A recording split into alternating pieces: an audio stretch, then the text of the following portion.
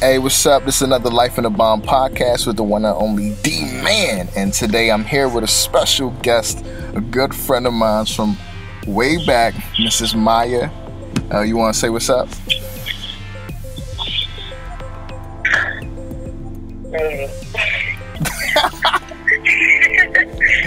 Alright, she just said, hey, so we about to be talking about what to expect from a real man.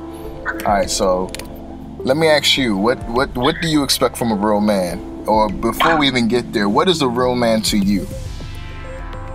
Um, well, a real man to me, basically, is a man that's not running around out here cheating on people. I mean, true, everybody says, oh, well, all niggas cheat. But that is true. Niggas cheat, but a real man is not going to run around cheating on you or doing the most. And of course, you know, also what I expect for from a real man would be somebody who's going to provide and not take from you. It's one thing for him to been providing and he thought he had time to help you.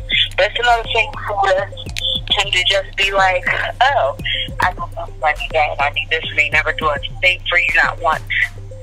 Right. And then when you do ask him for something, he was like, oh, I don't got it. But he has it for everybody else. Facts. And then, of course, another thing I expect from a real man is for them to take care of their children if they have them.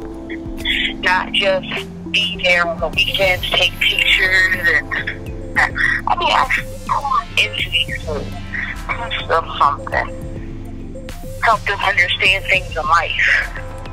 Right. Hell, when they're young enough, teach them the ABCs, tie their shoes, like little stuff. My dad taught me how to tie my shoes. Mm. Like realistically, a lot of dads don't do that. It's like that's up to the moms to potty train and teach them their schoolwork and all that extra stuff. Makes sense. And of course, I of course expect for a good man to have an all around good character.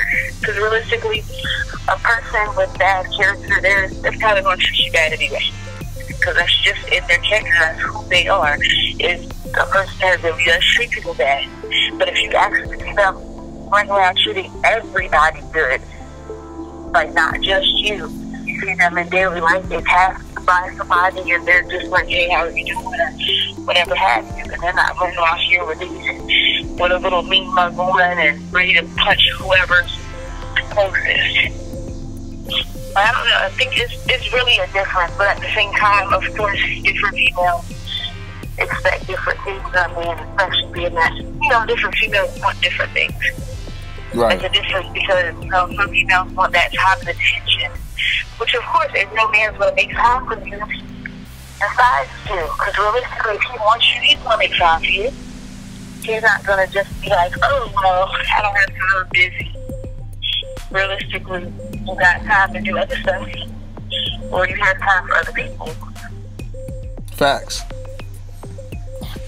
And then, of course, you know, some women, they expect for know, the man to be providing the money and superiors to keep it pushing. I agree. It just really depends on, honestly, depends on the female. I agree. I agree. Just to even um, feed on that, um, a real man, like you said, someone who's there for their partner, you know, who doesn't take, who doesn't just only take, but they give as well. You know, you have to give in order to receive. So I feel like if you're a real man, you're there for your partner. You don't judge them. You don't look down on them. You guys bring out the best in one another. You guys both grow. You're there for them um, spiritually, emotionally, physically. You know, and you you add life to them. You bring um, good things to them. You develop their character, and you guys can get things done as a team. You know, I feel like when you're with a man, he's supposed to appreciate you, respect you, be there for you through the good times and the bad times, not cheat, and do his thing to reassure you or keep you assured that he's there for you and he has your best interest at heart. But I feel like when you're dealing with a man and he's not bringing those things to the table, like you said, someone who's there for their kids, how you gonna say you're a real man and if you have kids, you're not there for your kids like that? kids barely Right. see you, barely talk to you like that. Um, you're just around when you want to be around. Uh, being a parent is is is not a is not a leisure thing. It's an everyday thing. It's a lifestyle. So I feel like if you're really out here and you're gonna be a man, you have to step up to that plate. It's easy to want to lay down with a woman and get her pregnant, but when it comes to the responsibility that comes after the fact, a lot of guys want to run away, and those are not traits of real men. I feel like media, music, certain things, other guys who have not fully developed in the mind confuse younger guys and other men around the world to believe that's the way to go, and it leaves the women we were with and our children, if we do have any, in a rut. You know, so I feel like we have to step up to the plate.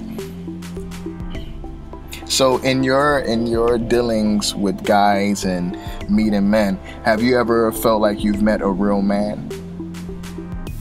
Yes. Okay. And of course, with that real man, of course, he's different than basically, I want to say a few different real men. But of course, they're all different and special in their own way. So, of course, that kind of makes them hard to find because realistically, sometimes it's a, these different real men are for different specific women, of course. Mm-hmm. But they all, of course, have that one thing in common, of course, that respect and love factor for women. The whole the fact that they do not cheat, period. Absolutely not. Like, one of my friends, we broke up. He has a girlfriend. She has a little baby.